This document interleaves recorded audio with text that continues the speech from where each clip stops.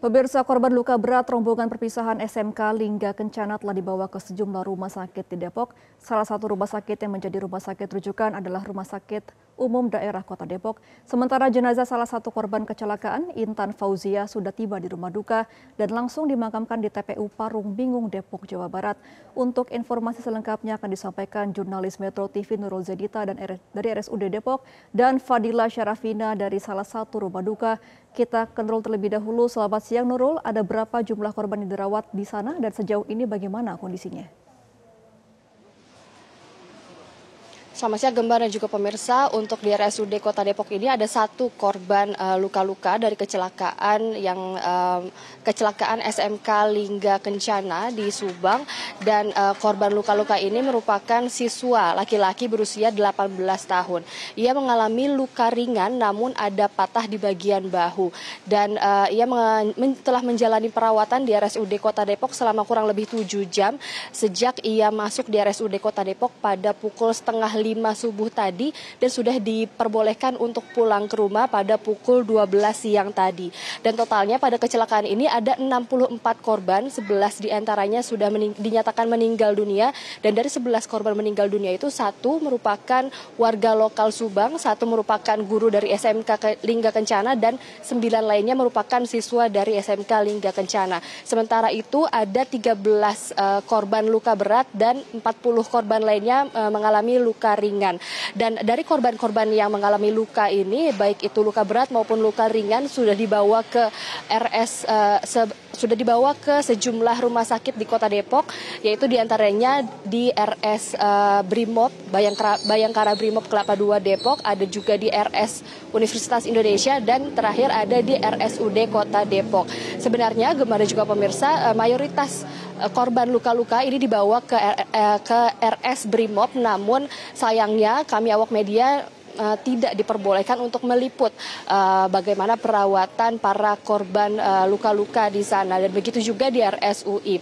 Dan tadi uh, tadi informasi yang kami dapatkan sempat ada satu korban lainnya yang datang ke RSUD Kota Depok namun ia uh, membutuhkan perawatan dari poli syaraf. Namun sayangnya di RSUD Kota Depok ini masih uh, terbatas untuk dokter spesialis spesialis syarafnya jadi uh, ia korban tersebut uh, akhirnya dirujuk ke RS eh, Rumah Sakit Hermina Kota Depok.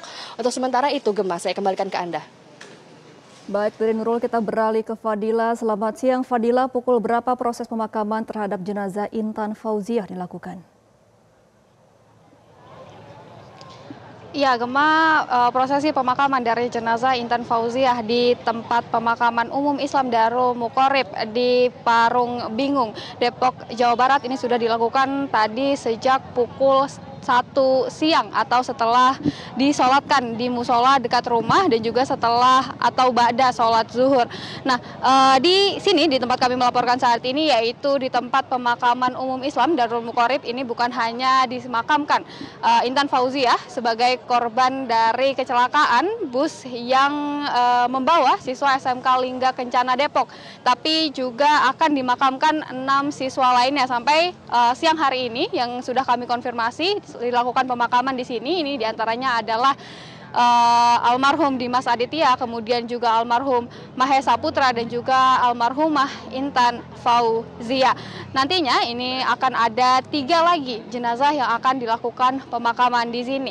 Kalau ditanya soal bagaimana situasi di tempat pemakaman umum ini pada siang hari ini, ini memang masih diwarnai oleh duka. Sampai siang hari ini masih banyak sanak saudara, teman-teman dan juga uh, orang-orang yang mengenal ketiga jenazah selama hidupnya. Ini masih memanjatkan doa-doa, kemudian juga masih berada di pemakaman ini tentunya untuk mendoakan agar para jenazah ini dapat diterima di sisinya. Selain itu juga dapat meninggal dunia dengan keadaan husnul khotimah dan juga dapat diampuni dosa-dosanya selama di dunia. Nah, selain dari pihak keluarga Gema tadi juga dihadiri oleh wakil wali kota dari Kota Depok Imam Budi Santoso ini juga turut menyampaikan uh, duk, duka citanya terhadap para keluarga yang terdampak oleh uh, kecelakaan pada hari Sabtu lalu ini.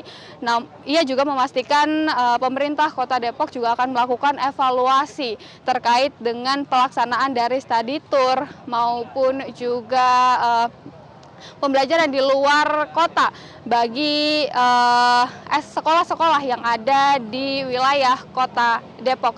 Selain itu, uh, tadi ini Gema jenazah dari Intan Fauziah ini baru tiba di rumah duka ini sekitar pukul setengah satu siang. Kemudian langsung disambut oleh isak tangis dari keluarganya di rumah duka. Dan setelah disemayamkan sebentar di rumah duka ini langsung disolatkan di musola terdekat. Dan kemudian langsung dibawa ke sini atau dibawa ke tempat pemakaman umum Islam Darul Mukorib di Parang, Parung Bingung, Depok, Jawa Barat ini. Nah, uh, tadi kami juga sempat berbincang dengan keluarga dari Intan Fauzia ini menyampaikan bahwa mereka mengetahui terkait dengan terjadinya kecelakaan ini pada pukul 8 malam kemarin dan bukan dari pihak sekolah melainkan dari grup WhatsApp wali murid dan juga uh, sanak saudara yang kebetulan sedang menonton berita. Tak, uh, kejadian ini juga disebutkan menimbulkan shock yang mendalam bagi orang tua dari almarhumah Intan Fauziah. Ini karena Intan Fauziah ini adalah anak semata wayang dari ayah dan ibunya.